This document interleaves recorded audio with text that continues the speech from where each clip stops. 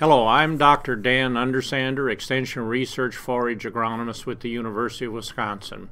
And we're going to talk today a little bit about establishing alfalfa and grasses for hay and silage. Uh, the first thing to consider when establishing stands is that we need to have the right soil pH, we need to have uh, a firm soil, and we need to place it at the right depth. Low soil pH, loose soil, and improper seeding depth are responsible for about 90% of the stand failures that we have in alfalfa and grass establishment. We do recommend a soil pH of uh, 6.8. When we get lesser pHs, we will have uh, slower establishment and poorer stands. The other thing is, is seeding depth. A lot of our alfalfa is seeded with a Brillion seeder and then depth is not an issue because we're distributing on a packed soil and then punching it into the soil a little bit. But as we're using more and more drills for seeding, depth and, and seeding too deep becomes a major issue. What this graph shows is that our recommended seeding depth, uh, which is a quarter to half an inch, uh, is fine. Uh, will give us the best stands. It'll give us a little bit of ground cover. It'll hold the moisture in place. As we go deeper than a quarter of an inch, particularly on the sands and the clays, uh, what you see is that the uh, establishment declines very rapidly with seeding depth. And so this is one of the uh, examples and kinds of things that we see in the field where you see a row that came up just fine and right next to it on either side is a row that uh, did not come up. That means that one disc opener was putting the seed at the right depth and the disc openers on either side we're putting the seed either too deep or too shallow. So seeding depth is a key issue. We need to, with drills, uh, have depth bands, have them properly adjusted. The other thing that we need for getting a good stand is a firm soil. when we put that seed in the ground, we need to pack the soil against it so that that seed can absorb water from the soil. Uh, if the soil is loose, that means there's too much airspace. That means that the seed does not contact the soil and the seed will not take up the water.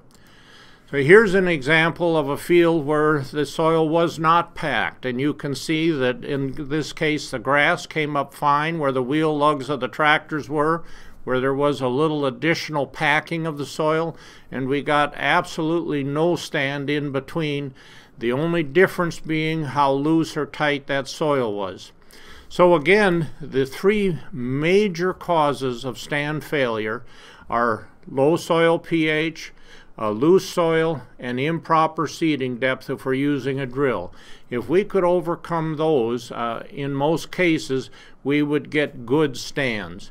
Nothing works all the time, but we would get good stands most of the time. And I would strongly invest that as you or your clientele are working with fields, that you suggest uh, proper seeding equipment, proper adjustment. Uh, too often uh, we use old equipment that isn't properly repaired, isn't properly adjusted, and then we end up with stands like we've seen in the previous pictures. Now, Let's talk a little bit about the germination process. Uh, alfalfa is a kidney-shaped seed. You actually don't see this so much anymore because most of the seed that is sold is coated with a clay or polymer coating and that polymer coating holds the inoculum. It holds, uh, in some cases, uh, usually fungicide, one or two, and in some cases some minerals and, and other products. Uh, such coating is, is actually, in most cases, beneficial to the seed and would be recommended. We need to keep in mind that there are two distinct kinds of coating. The standard clay coating is about 32% of the weight. The uh, polymer coatings can be as low as 8 to 10% of the weight. You can tell what you have by looking at the tag on the bag and the inert material would be largely the seed coating. So in one case you might have 32% inert material in your bag and in the other case you might have 8 or 10% inert material. Look at the seed tag on the bag to determine how much pure seed you have and what the germination is. Now, as that seed begins to germinate, the first thing that it does is pick up water.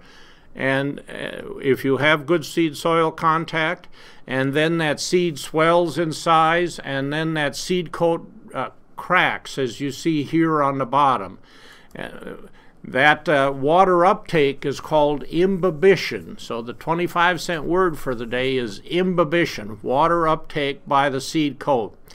Now, one of the challenges that we can run into uh, is that we can have partial water uptake, we can have the enzyme processes begin, and then if we don't have enough water for full uh, emergence of that radicle, then what we have is uh, seeds dying on us. And that's one of the reasons why we recommend a spring or a fall planting unless we have irrigation because we're likely to have a prolonged period of wet weather and be able to maintain soil moisture. So after the seed coat cracks, the radicle comes out. then the radicle grows down and at some point uh, that radicle anchors itself and then it pushes uh, this hook up through the soil surface and drags the cotyledons with it and the seed coat falls off. So that uh, pops up above ground. These are the cotyledons that were in that seed coat and this is the growing point. The first leaf then is a monofoliate leaf. Alfalfa is generally a trifoliate uh, leaf plant, but the first true leaf up here is a monofoliate leaf, and then here again are the cotyledons, and here are the new uh, leaflets uh, beginning to grow. The reason that this is important is that when we talk about herbicide applications, they oftentimes recommend a four to five leaf stage. And it is important to recognize that the cotyledons and this monofoliate do not count in that. When we talk about four to five leaves, we're talking about four to five trifoliate leaves. So after uh, a little bit more growth, you see the first trifoliate leaf out. Here again are the cotyledons, the monofoliate that we saw. Whoops. And then another set of leaves coming out.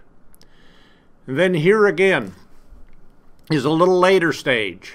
And part of the reason I put this here is I usually ask people, okay, what leaf stage is this? And we'll usually get answers that this is around four or five leaves. When we count the leaf stage, remember first, we do not count this leaf because it's not trifoliate. But also, when we talk about a leaf stage, we are counting leaves where the leaflets have fully expanded so that they're not touching each other. So this one would count this one, this one, this one, but not this one since these have not fully developed yet. So this is about a three or four leaf stage alfalfa. Again, that's important to understand just from the standpoint of when you can first apply certain herbicides. Uh, this is a little later then, and here you see those cotyledons that we've seen green. All the energy has been absorbed from them. Uh, they then dry up and essentially fall off on the ground, and here is the stem going up. Now, one of the things that happens, and this is an important uh, process to understand, is that those plants begin to grow, the root goes down, the stem comes up, and then at some point that crown pulls back on itself and forms a little ridge here, and this is the crown.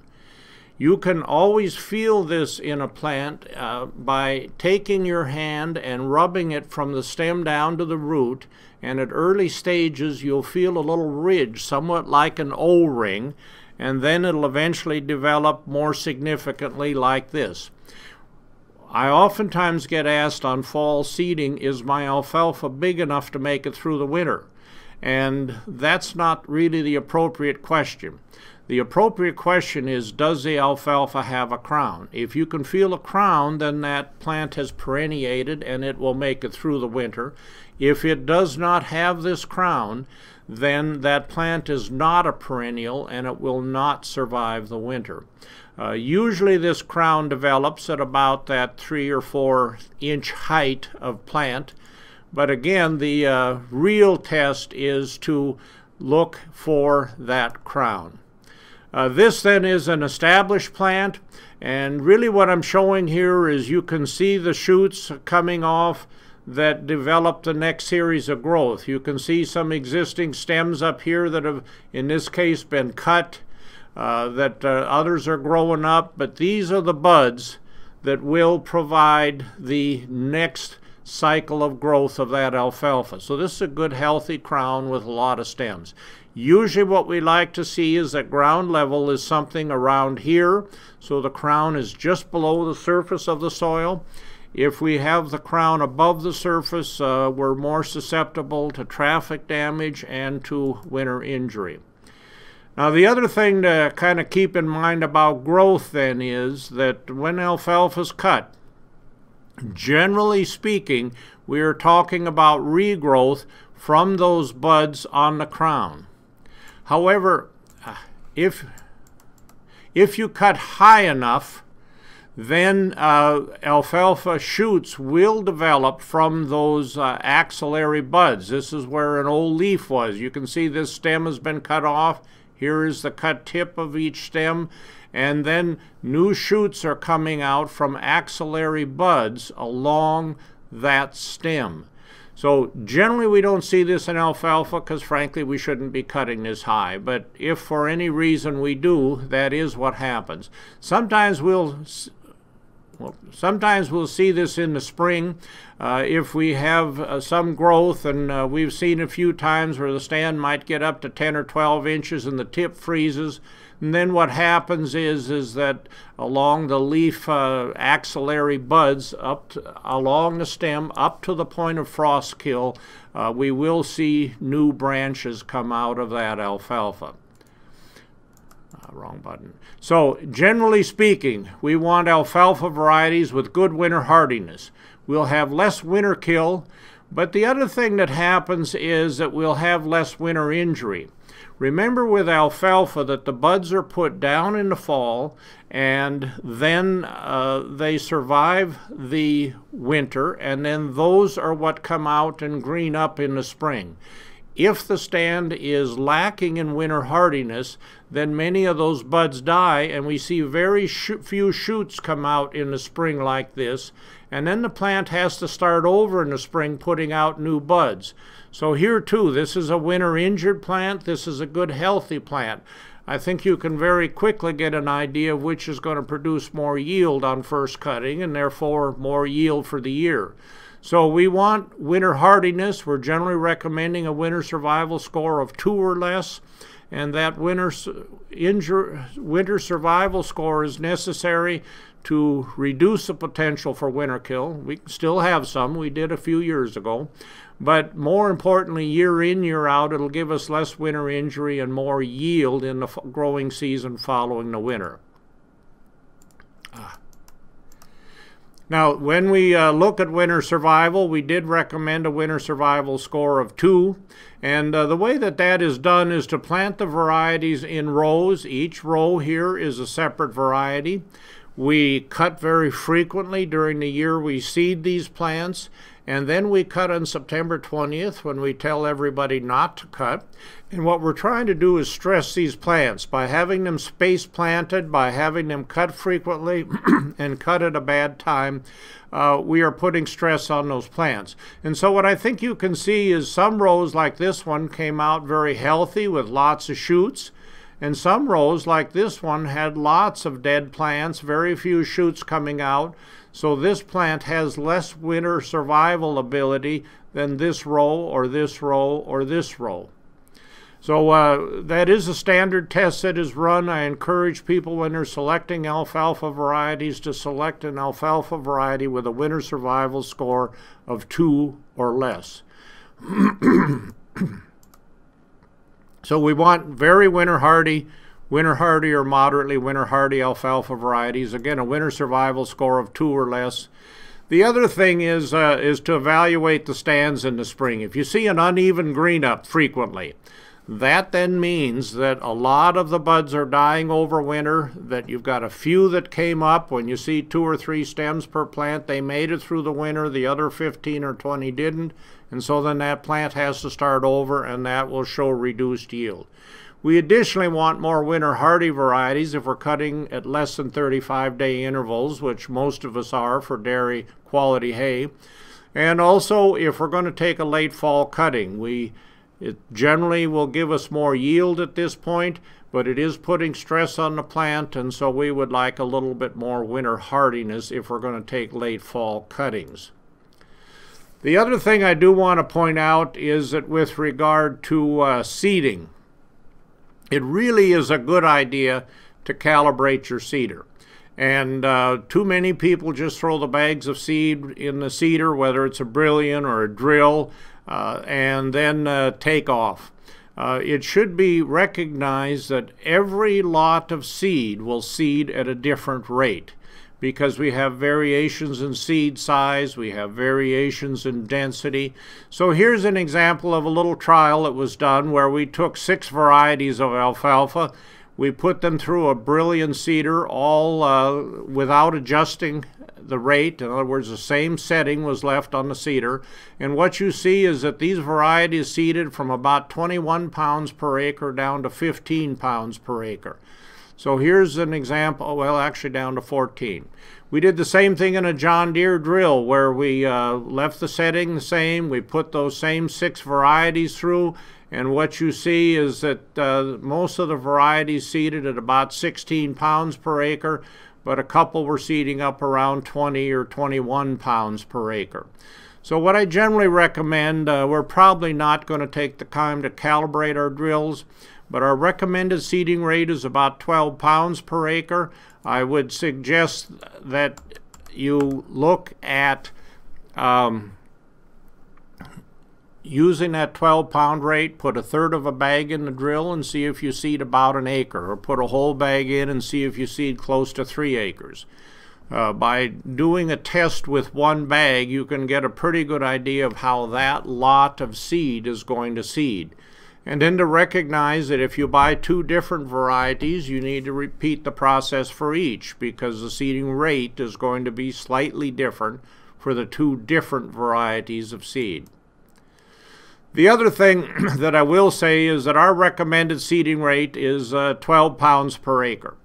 Uh, we usually figure something around six seeds per square foot per pound of seed.